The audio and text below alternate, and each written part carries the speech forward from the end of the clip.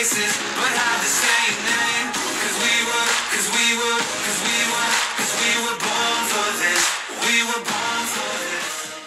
All right, we are back for another episode of the Trainer Talk. Today we're going to be talking about the importance of mobility and functionality um, as we age. So, when we meet with a lot of clients, um, especially people that are, you know, 50, 60, 70, most of their goals is just like, I want to be able to do the things I want to do, um, you know, even just daily tasks around the house, being able to play with their grandkids, that kind of thing.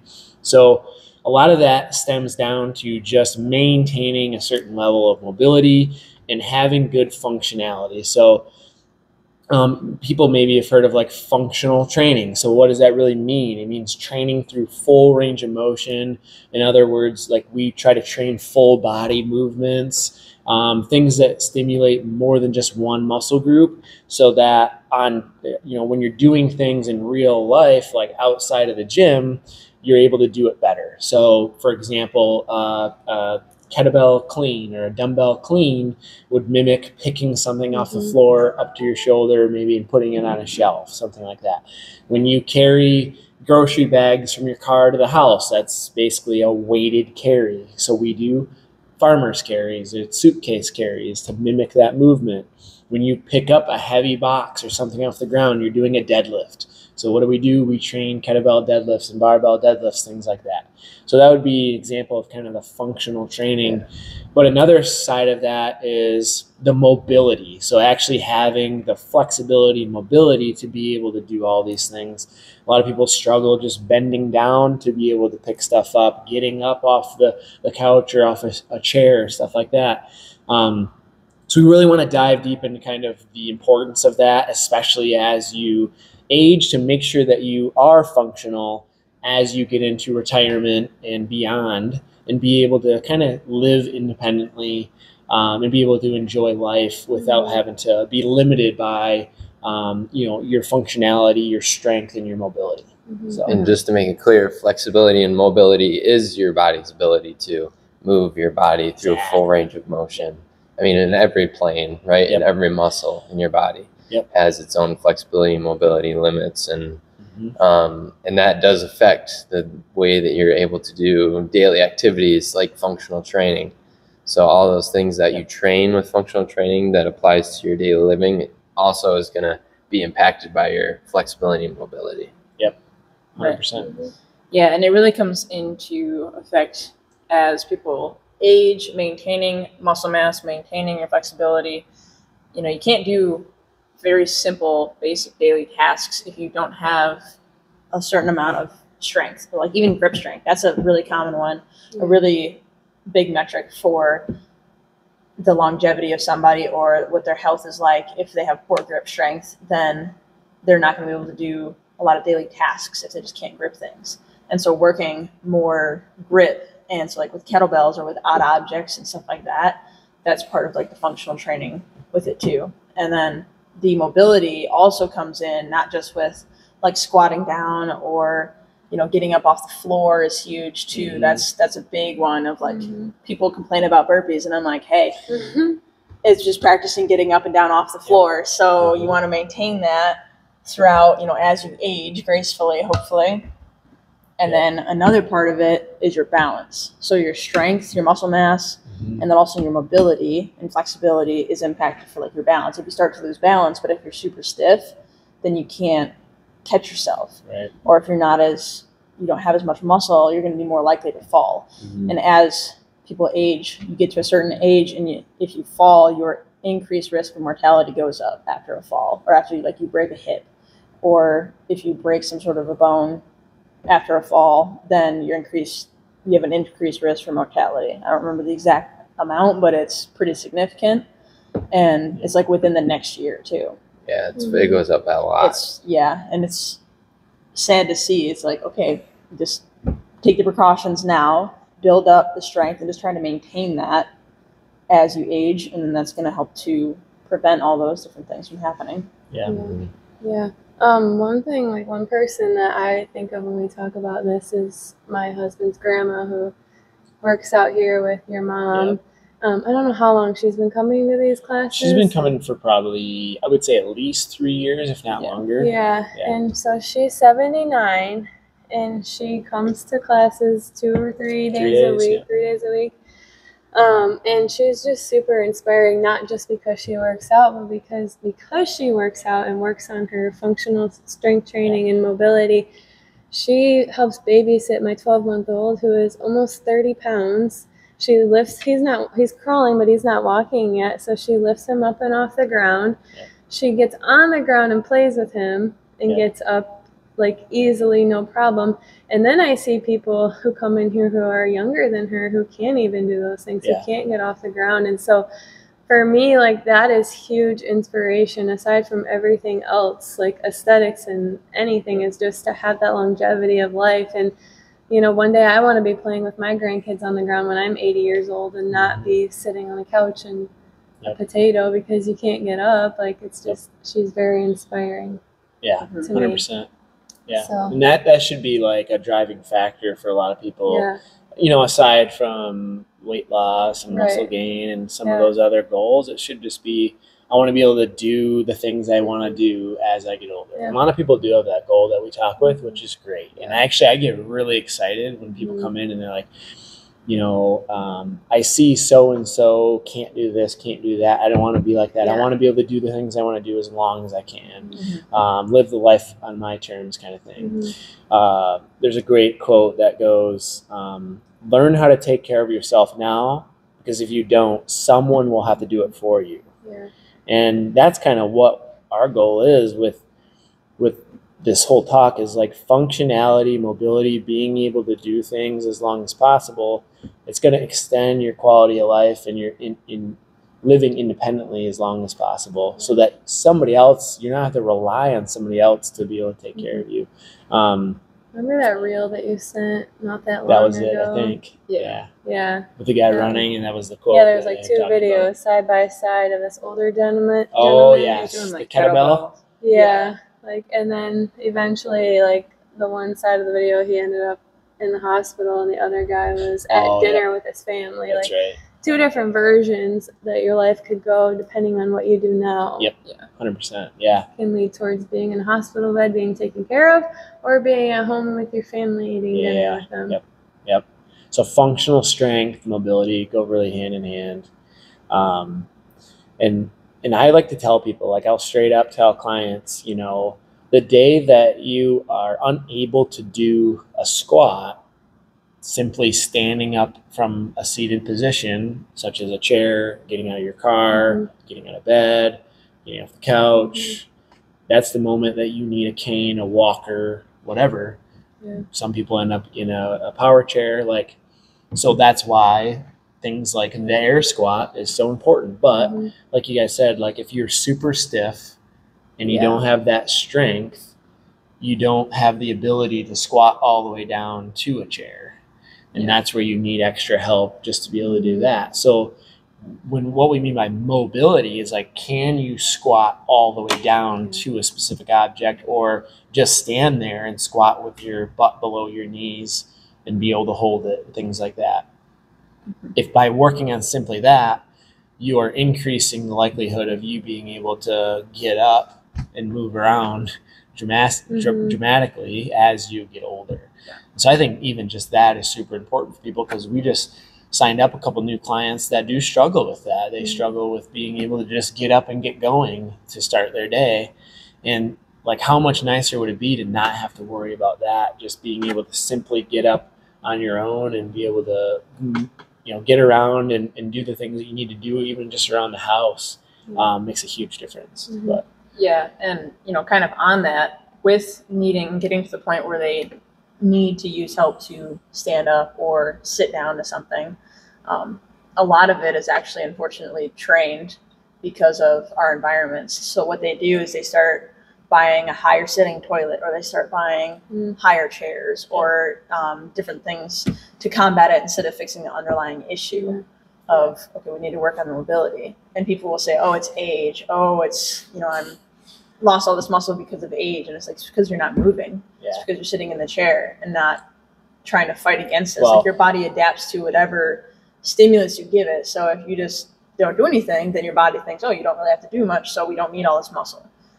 Let's go back another step. It's why do a lot of people blame that? Well, I've got bad knees. I've got a bad Mhm. back. Well, why do you have bad knees and bad back? Because you didn't train it. Mhm. You Yeah. didn't move through full range of motion for probably 20 or 30 years of your life. And that's why they got really, really bad. Well, Not a to good mention example would be a lot of people with lower back pain. Well, From it's sitting usually from sitting and having really tight hamstrings. Yeah. Right. So either a weak back or a weak, you know, well, when you supporting sit, muscles. well, and I'm guilty of it. I sit like this the whole Yeah. talk, and my core is not engaged whatsoever. So Yeah. after doing that for years on end every day, you have no core stability. Your back, your hamstrings are tight, which leads to a tight pulling back. You've got nothing to oppose it with your core, and that's where people get the the sore knees and back and hips and stuff like that. Is because just they're not moving through range of motion. Mm-hmm. Like when you guys come in to start working out, maybe you guys will agree with me, but like one of the hardest parts about working out is simply the the warm up, the side to side lunges, that first air squat, like oh. Yeah. But then as you go through the range of like better. after twenty air squats, the blood's pumping. You're like, Mhm. okay, now I'm ready to go. I got kind of like greasing the hinges, you know. yeah, it's like pretty much. yeah, like Ken came in, and Ken's a great example. He walked in eight years ago to train with me, and he was dragging his back leg because it was so stiff and his back was so bad. For the first two years, all we focused on was mobility and flexibility, stretching, functional stuff. And then he got into more functional training from there. But like we went in, and this morning, first set of leg press, ooh, he was stiff, very small range of motion. We did a lightweight 15 reps. The next set, boom, oh, a little bit bigger. Mhm. By the third and fourth set, he it was full range, more weight. He felt great. Mhm. So it just takes a little bit. And for those people that are listening, okay, well, how do I get started in that? First thing in the morning, do something to get Yeah. your blood, That's your what I was body just about to moving. say. You know, sit up and off a chair 15, 20, 25 times. Do some stretching, reach for your toes. We do a lot of trunk rotation, side lunge. Mm. Go down and sit into a squat and see how long you can hold it. Yoga is a good way to Yep. get some of that in Yeah, too. I started doing that a little bit. Yeah, Yep. and even if you're starting from the the basics of like, even if you do need assistance to get up out of a chair, it's like get up, sit down, get up, sit down. Mm-hmm. It's Yeah. just that's, I mean, that's what we would do. What's here. funny is, yeah, Yeah. That's if you what we do can't, if you struggle getting up and, and you're modifying your home with, you, oh, I got to get a bigger car. I can't get into a car. I got to get SUV. I got to get taller toilets. Like, how much is that costing? Like, you're, you're spending That's all right. this money on making your, your house easier and more comfortable. You come in here because you no longer have the strength to get up and down. Guess what we're going to make you do? We're going to make you get up and down. Yeah. We're going to make you sit to a box, stand back up 40 times, and then until it becomes That's easier. the only way to get better at Yeah. it. And mm-hmm. there, if there was an easier way, we'd do it. But Yeah. there's not.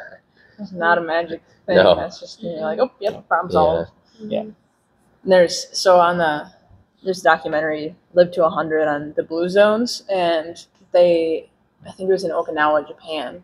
It's one of the blue zones, and they were showing videos. They're like 100 years old, and they're getting up and they sit on the floor. Like they mm. don't have they don't have elevated seating. Like it's all either on the floor and there's like small tables and that's it, or you're standing. And they're they're like literally crouched down in a squat, holding that as they're gardening and Mm. pulling weeds and, and whatnot. And they're 100 years old, and it's Yeah. like that's unheard of in America too. Mhm. But we, we just have elevator services, so we never have to get up and down from the floor. Yeah. It's like once you get a certain point, if you don't have kids to get up and down from the Right. floor or a reason to, you're really not doing that much within a day. Mhm. Mhm. And so eventually your body's just not used to it anymore. Yep. Or you get to a point where you're just not in shape enough to get yourself up and down from the floor without assistance of some Mhm. sort. Hmm.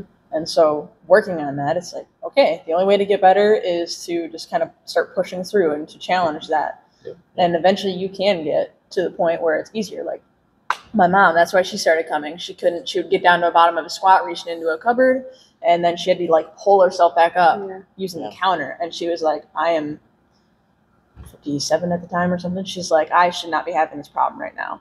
And so then she started coming to classes. And so now she can do weighted squats, she can do push ups, she can do like all these things, and that she wouldn't have been able to do Yeah. like Mhm. three years. So she's fitter now than she was in her 50s. Yeah. Yeah. So cool. Mhm. Mhm. Um, I forget what I was going to say. one of my I, I was gonna say one of my favorite things um, ways to work on the mobility is how we do use our foam rollers a lot. Um, obviously as well as stretching strength training and functional training but like before every workout and after every workout hit the foam roller loosen the muscles up. And i heard this was a while ago that i heard this but tom brady uh, for those of you who don't know him he's the greatest football player of all time uh, he came out and said that he attributes his geez i don't know it's probably 30 some years of playing f- professional football i think he was in Well, his at least 20. yeah i think he was in his 40s Probably so 20 years. yeah 20 some years then um, he attributes his 20 some years of playing professional football to his pliability so he had this one guy the whole time that he would foam roll him out, stretch him out, massage him out. So all of these pliability, I guess I don't know the exact definition, but it's working the muscle and massaging it, loosening it up, and that's what release. Yes. release, yeah. probably. So that's what the foam roller does, and Yeah. and it can also be done with your hands. Or, massage. Well, think about how It's like popular massage. massage is. Yeah. You know? Mhm. and so Um, that's reduced his risk of injuries. I mean, he has he's barely been injured in Yeah. his entire career, and that's the reason he was able to play so long. Yeah. because he got all this work done to him every day. I mean, it was like for and on like thinkable amount of time, Oh, but like yeah. not something that the normal person could do. Right. But still, you know, it works. Yeah. And- it's showing. and doing yeah then then we can get into some practices and all that stuff for sure um, you know think about like the more you do as far as manual labor things around the house working out in the gym like you guys noticed especially as we got into like high volume crossfit training kind of competitively what do we have to do more of? We have to do way more mobility work. Hmm so that means foam rolling before and after workouts, doing a really good warm up with stretch dynamic stretches, um, and then cool down with more static stretching. Um, you know, think about like I get massage every three weeks. Uh, we've got the compression boots that kind of help Yeah. with with that similar thing.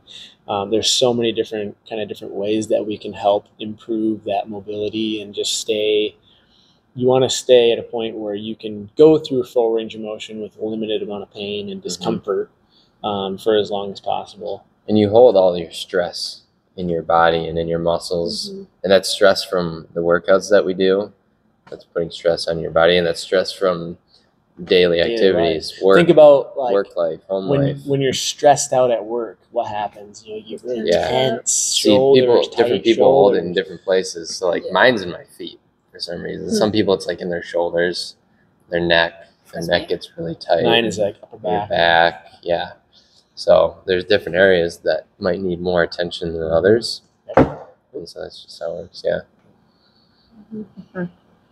Um, but yeah, as far as maybe we can go over some ways people can just get started in Mhm. doing more functional training and like you know the foam rolling, like you can buy a foam roller for like five dollars, Yeah. Yeah. Yep. and that or like a tennis ball or Yep. something like that, just to start massaging out everything and loosening everything up. Like doing some of that to get started, and then just like dynamic Yeah. movement. You know, just just moving the body at first is going Mhm. to be enough. Like even just like arm swings and Yeah. and things. Well, like think about that. our warm up. Mhm. I mean, we haven't changed simple. it in seven years because it warms up the whole body. Everybody goes through four ranges of motion. Mhm. Um, the one thing I was also going to say that I forgot earlier was like people that are nervous about starting to exercise, work out, even just doing some of these things we mentioned, like squatting. Um, a lot of times we hear, "Oh, I would like to, I just can't because I've got, you know, my knees are too bad, my hips are too bad, my back's too bad, I got a shoulder injury, whatever it is." You need to flip that and Mhm. say, "No, I need to do it because I've got knee pain, back pain, shoulder Yep. pain." It like the last thing I would ever do, and I've hurt my back dozens of times. You guys know this. Sometimes I walk in here and I'm crooked and Legit. hunched over, legit. The last thing I would want to do is lay on the couch at home Yes. for Yeah. days on end. I'm not going to get any better. Mhm. Three, four times a, a day, I was foam rolling, doing cat cows. I was doing all the stretches that we do, the pigeon stretch, moving, trying to get that back to loosen up and straighten back out. Mhm. Like, if you have an injury or a weakness, that's not a reason to, I need to stay home because this kind unless it's a very serious injury where the, you know you have to let it heal Yeah. but like if you have that discomfort or that you know uncomfortability in an area you need to work it through full range of motion and get the blood flowing and, and if you've got tight hamstrings and it's giving you pain you can't just sit around and wait for it to loosen No, You've more and more tight. yeah, exactly. You got to stretch it out foam roll massage like all that kind of stuff Mhm. So I just wanted to say that before we go into the exercises because a lot of people listening, wow, I'd like to do that, but I can't right now because my knees won't let me. Well, your knees won't let you because you let it get to this point. The only way to move forward is that you got to slowly Mhm. work your strength yeah. back up and mobility back up, get that functionality back. Yeah. So, and I've seen hundreds of people do it, so I Mhm. know you could do it. But- Right, and that's why there's physical therapy. It's like to get your body back to a functioning state. Physical therapy gets you back to functional state, But it and it's keep up to you you to Yeah. keep moving forward so it doesn't happen again. Yeah. People think if they go through physical therapy, oh, I'm Good fixed. forever. Yeah. And then, well, uh, only until a certain point in time, and it's probably not very long yeah. until you're back into, you know, the same situation. Yeah. All right, so for people that maybe aren't doing anything, what could be, what could they do at home? Squats. so use a chair. Yeah. Stretches. Couch, chair, bench, whatever. Yeah. Start. Yeah. Yeah, I would Reach agree. over and Squats. touch your toes. Mhm. Try and touch your toes. What I think I'll Uh, do is maybe we can after this we can record a video doing our warm up and I'll include it into the trainer talk recording. Yeah. Sure. You can even so there's chair yoga. You can go on to YouTube. Yeah. Chair yoga. That's you, you can thing, sit in a chair and Yeah, like if use you're like complete beginner, start with chair yoga. There's, I mean, you can do a lot of stuff with your chair or even like your counter, right? Your kitchen top counter, you can start doing some push-ups on there or something just to build some upper body strength. You can do, yeah, your squats where you just sit down to your chair and get back up, and you do that three sets of ten or something like that. And then you just try to go up each week or try to go to a lower surface each Mhm. time. And then even like the the bodybuilders that we do, sometimes we'll have people do them on a box. hmm And so you can just put your hands on a surface, elevated surface, step your feet back, step them in, stand up, Mhm. and you do that a few times. Yep. And it's like it really doesn't take much at first to start making the difference. No, not at all. Yeah, and that's the thing is like we have people like 79 years old. We got people that are 16 years old, and they can do the same exercises, Yeah. different variations. A bodybuilder from a box is essentially a modified burpee. Yeah. So burpee, everybody kind of knows those, where you go all the way down to the chest and then you jump back up. And uh, so the bodybuilder in the box, like you said, hands on a box, step both feet back, so you're in kind of like a push-up position. Step back forward, stand up tall. We'll start people out with that, Mhm. and then after, what happens? After a couple weeks, maybe maybe a month, that box gets lower. Eventually, they go to the ground. Eventually, then they're doing full burpees. Then when they go home and they're doing things around the house, they're like, "Oh my god, that, that whatever I was doing was so much easier." Mm-hmm. And that's where it's Yeah. you know it just pays off, and it, Yeah. you feel so good about it. But, Yeah. And I would honestly recommend, because you know, I mean, for people to come into the gym, it's usually two or three days a week. But if you're just going to start out at home, I would honestly recommend doing this every day Every for day. 10, 15 minutes. Yeah. Mhm. and just Just either start just stretching or like do this, you know, very similar routine.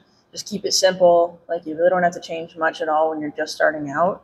Just do that 10, 15 minute routine every single day. Like keep it either in the morning, the same time each day.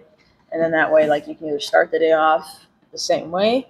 But if you're like, oh yeah, I'll do it when I have time, or like, oh yeah, I'll get to that later, then it's you don't do it hmm or like you know you can buy exercise bands with the best of intentions and put it by your chair so that way oh yeah while i'm watching tv i can do my exercises right and Yep. it's most people don't end up doing it they just end up Mhm. sitting there so you have to schedule out dedicate that Yeah. time like make it a priority. if it's a priority to be functional and healthy and live a long happy life being independent then you've got to make it a priority in your schedule too try to habit stack it. So Yeah. we talk a lot about that habit stacking. Like if the first thing you do when you wake up is maybe you go brush your teeth and then you get a cup of coffee, okay? maybe leave a note or put your Mhm. exercise band or your foam roller or whatever like right Mhm. next to your freaking coffee maker or something and that, that oh it reminded me okay i gotta go through my stretches like and it takes less than five like our warm-up is five minutes long Yeah. And i would recommend doing that every single morning just to start the day get everything loosened up get the Mhm. blood pumping a little bit and you're just going to have way better day Mhm. um, and it'll lead to more functionality mobility Yeah. over time you can make it harder over time Yeah. so yeah, I'll definitely include a video of our our general warm up. Um, if you're t- thinking about doing like a foam rolling, YouTube it. Mhm. I mean, there's probably a hundred different things that you could Yeah. see. YouTube, you know, dynamic stretches, functional at home exercises, um, you know, foam rolling techniques, anything you can find on YouTube and start this. Mhm. Um, but yeah, like you said, you've got to prioritize it. Um, there isn't a workout where we don't do some sort of warm up. Um, we try to always stretch at the end as well, but the warm up's definitely more important. So think of it like getting started to your day. Um, for you know, every single day, it's got to be priority. But, Mhm. Cool. Anything else, you guys? That's That's good. Awesome. Cool. Um, I guess we really didn't get into like for let's say they were a current client already working out three, four, five days a week. Maybe they're sore a lot. Maybe they want some advanced techniques to try to improve their flexibility, mobility. Maybe we got people that are trying overhead squats that haven't gotten it yet, that kind of thing. Um, basically, what we said, you're just taking it to the next level. So Right. there's great apps like GOWOD, ROMWOD, um, definitely foam rolling. Um, you're going to want to do more difficult functional kind of stretches, dynamic stretches. Like we use the PVC pipe and do bar passes. We do the overhead squat against the wall for one of our tests and level Mhm. method. We can make a video for these. We can, yeah, we can include a video too. on that too. So you're just kind of hard to, to explain. yeah, hard to explain. You're gonna have to make take it to a little bit next level, spend a little bit more time with it. Just, Just volume, Yeah. Practice, Yeah. practice, Practice, practice. yeah. It's like if you want to get better at anything, you got to do it frequently. Yep. 100%. All right. Until next time, stay healthy and have an awesome day. Thanks again for tuning in to the Trainer Talk. If you are ready to gain back control of your health and fitness, we would love to sit down and chat with you to see if we can put together a plan for you. All you have to do is head to taylorhutchinsonfitness.net and book a free consult. Again, make sure you like and subscribe if you like the video, and hopefully, we'll see you soon.